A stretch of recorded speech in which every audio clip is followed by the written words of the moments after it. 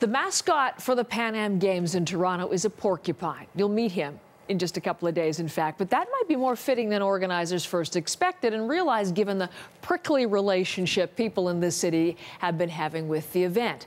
But you cannot say that about Toronto's Mayor John Tory. He's already taking the gold for a civic leadership in the final runoff, being a big booster for these games and providing these events really are more of a marathon than a sprint. The games are almost here, and he will be playing host to a big part of the world. So it's fitting that our first guest, as we begin our marathon coverage session, should be the mayor of Toronto. John Tory, welcome back to the program. Nice to see you on this. Since we welcome the world, or a good part of the world now, uh, let me ask you this. Is Toronto ready to welcome the Pan Am visitors? Yes, we are, Heather, and uh, I'm glad you didn't introduce me as the mascot, but uh, I thought you were getting to that. Uh, you know, what you read about in a lot of these multi-sport games is that the city isn't ready, the buildings aren't ready, right. their places for competition aren't ready. In this case, we are. Uh, the Athletes Village uh, we just saw, the sports facilities, I've seen some some of them, they're magnificent and they're ready. Some of them have been in use by the public for months, so that that's part of the legacy of the games, but it's also, I guess, part of that, uh, you know, getting it ready and making sure it works properly. So, yes, the city is ready. The city is ready. What about buzz in the city? You have been critical, if you will, in the past, saying that Toronto was a little bit too pessimistic about these games. Are you getting the sense that there is some excitement, that they're ready to embrace the games in the city? I think the only sport that we're not uh, playing in the Pan Am Games is sort of moaning and groaning, and, and, and Toronto, uh, you know, on a regular basis would be uh, qualifying for a gold medal in that. But you know what? I think I've seen myself over the weekend. I went to a couple of the torch arrival ceremonies in different neighborhoods, uh, and I've seen some of the events as the week has gone on. We've seen as the coverage have, has focused more on the athletes actually arriving. I think, yes, there's a buzz building now. I don't think this is all that unusual. This is the highest ticket presale in the history of Pan Am. So when people talk about the ticket pre-sales, which have been rising steadily, mm-hmm. it's really a, a, a, matter of people focusing on the glass being half empty as opposed to three quarters full. And things like that are just happening now, and people in town are, are getting uh, excited about it, and I think it's going to be great. The complaint thus far, the biggest one, has been traffic. Let's talk about that. We've had a week now of the HOV lanes being in operation.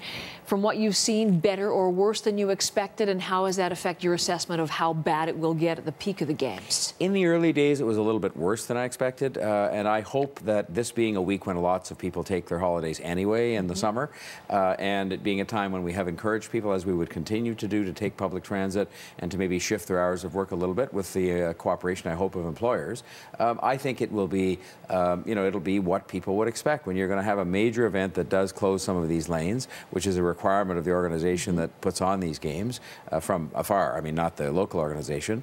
Um, you're going to see some some impact, but I think it's going to be fine. We will adjust as other cities have around the world when they had big events like this. You did ask the province, though, to reconsider the three person per vehicle minimum to go back to two. It refused. Has the province done all it could, should have to make to minimize the traffic impact for Toronto? We're on a positive bent this oh, week. So, okay. you know what? I haven't heard anything from what I said last week right. about them reconsidering that carpool definition or the HOV definition.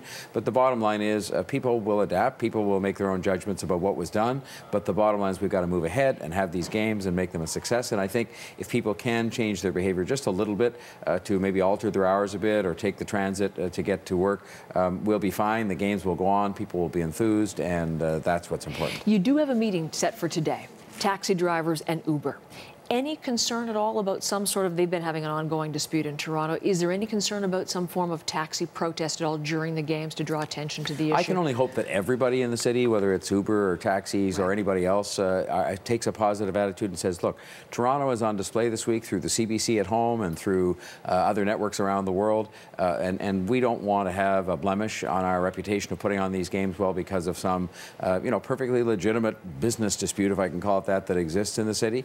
And so I hope people will realize that we'll work away at that issue, but that we've got a very big international event going on uh, that's going to be seen all over the place, and we don't want to reflect badly on our city as we uh, as we put that ga the games on. Securing the city for this very big international event, are you confident that Toronto police preparedness is where it needs to be at this point? Yes, uh, I've talked to the chief as recently as Saturday, and I'm confident uh, he's a person that knows this area of the business very well, and that uh, the police service, working with other uh, people involved in security majority uh, in the country are uh, ready to put these games on. You have to be vigilant, and you never know in this world, unfortunately, what's going to go on. But I think they're as prepared as uh, any police service could possibly be. We're going to be speaking to them on Wednesday. Wednesday, our theme is security. But it's interesting you talk to people, and again, not to delve into negatives of the past today, but there is still a concern that, you know, international event, Toronto police, what if something goes wrong? Could it be G20 revisited? What do you think?